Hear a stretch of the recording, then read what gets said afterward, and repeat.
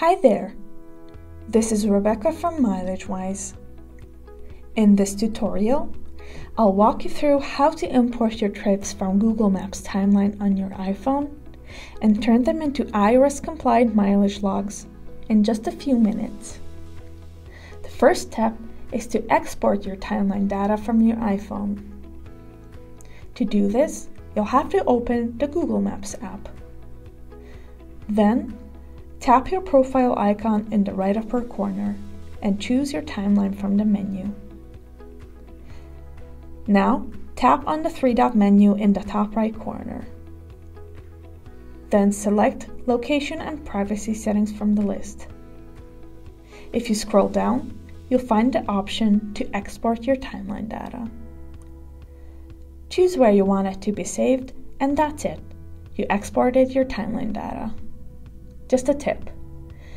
Choose a cloud-based service to store your timeline, like the iCloud, but you can also airdrop it or email it to yourself so you can access it from your computer. This is important for the next step. Now that the file is on your computer, let's import it into MileageWise. Log into the MileageWise web dashboard. Go to the Trips menu, which will open the Monthly Trips tab. Make sure to select the desired year, month, and vehicle in the menu on the left. In the top right corner, you'll find the Import Trips button. Here, select Mobile Device Timeline Import. Then click Next Step. Drag and drop your file into the upload box or click Browse and select it.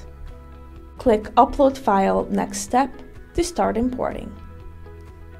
The import may take up to 50 minutes, but usually it only takes about 2 minutes. You'll get an email notification when it's done.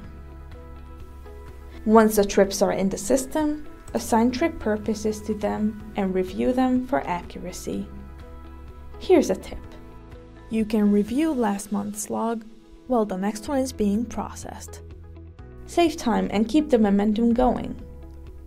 And that's it. Your Google Timeline data is now working for you. Accurate, IRS compliant, and hassle free. Our system makes sure that your mileage logs are always 100% IRS proof. Do you have questions or need help? Message us via email or the dashboard chat. Don't forget to subscribe, like, and check out our other tutorials. Drive safe!